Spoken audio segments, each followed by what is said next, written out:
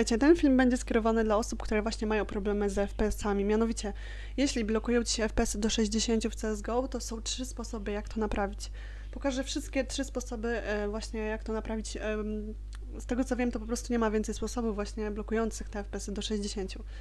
Więc e, zacznijmy sobie od pierwszego sposobu. Mm, To jest skierowane dla osób, które właśnie grają na laptopie. Zobaczcie, że tutaj cały czas mam podłączoną ładowarkę że się ładuje. I to jest najważniejsze, żeby grać właśnie w CSGO na ładowarce. Jeśli odłączycie ładowarkę, to bardzo często FPS automatycznie spadają do 60. A wyjaśnię już, dlaczego tak jest. E, Wpiszcie sobie w menedżer zadań. Wejdźcie w wydajność i zobaczcie, tutaj wasz procesor jest. I tutaj macie aktualną szybkość. U mnie jest 3,57 GHz w tym momencie. I teraz zobaczcie. Teraz w tym momencie co robię, to odłączam ładowarkę od laptopa. Zobaczcie, jak spada wydajność procesora. 2,40, 2,60, 2,40. e, Bardzo często spada nawet na 1,5 GHz. Z tego względu, że bateria zaczyna e, być tak jakby w trybie oszczędzania baterii i po prostu komputer zaczyna oszczędzać baterię e, kosztem wydajności FPS-ów i właśnie w większości laptopów wtedy FPS-y spadają do 60, więc pamiętajcie, grajcie zawsze na podłączonej ładowarce. Drugi sposób, e, jaki musicie wejść, to oczywiście panel sterowania NVIDIA lub panel AMD. Jeśli ktoś tam ma. No i tutaj wejdźcie sobie przede wszystkim. O, możecie sobie tutaj od razu ustawienia programu przejść i e, wybierzecie sobie z listy CSGO. Ja już mam ustawione, wszystko pod, e, pod wydajność, tak jak w innych filmach pokazywałam. Natomiast co blokuje FPS do 60? Jest to zawsze synchronizacja pionowa. W ogóle co to jest synchronizacja pionowa?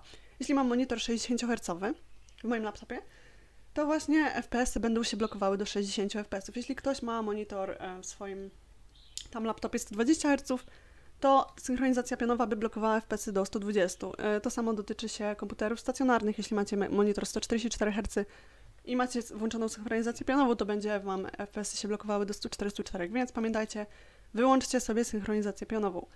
E, Po tym wszystkim zapiszcie oczywiście ustawienia, Zamknijcie to i jeszcze w CSGO sobie odpalcie CSGO, już tutaj nie będę odpalać. Wejdźcie sobie w ustawienia wideo CSGO i w tych ustawieniach CSGO e, wideo właśnie też synchronizacja pionowa, jeszcze upewnijcie się, tam też zaznaczcie na wyłącz. E, trzeci sposób, żeby właśnie najważniejszy sposób, który blokuje FPS do 60, to jest głównie w Windowsie 10, więc co musicie zrobić, to wpisać sobie ustawienia.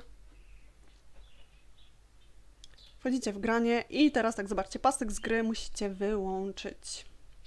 Ja tutaj mam e, DVR z gry, tutaj też sobie wszystko, wszystko sobie powyłączajcie, dosłownie co tu się Wam pojawi.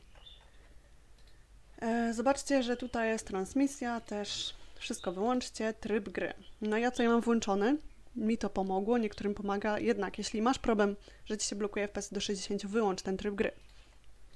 Podsumowując, e, wszystko macie wyłączone w tej trybie gry, musicie każdą osobną rzecz powyłączać. Ostatnią rzecz, e, jaką możecie zrobić, to właśnie sobie wejdę w bibliotekę gry, e, Steam, właściwości. I tutaj zobaczcie, to są moje komendy, które już Wam mówiłam w innych filmach, jakie mam komendy, natomiast tutaj mamy FPS-y max 300. E, bardzo często ta komenda z jakiegoś powodu ludziom się zwiększyły FPS-y do 60, jak wpisali sobie FPS e, 0. I przetestujcie teraz. W tym momencie możecie sobie odpalić CSGO i sprawdzić, czy macie więcej FPS. Pamiętajcie, że sprawdzacie FPS-y, bo już znalazłam, ta- tacy agenci do mnie pisali, niektórzy na Facebooku, że sprawdzali sobie FPS-y na graniu z botami, albo czajcie, że w menu niektórzy sprawdzają. Yy, więc FPS-y się sprawdza no, na jakiejkolwiek mapce, ale gdzieś są gracze, prawda? Nie, a nie, że sprawdzacie FPS-y z botami albo po prostu w menu.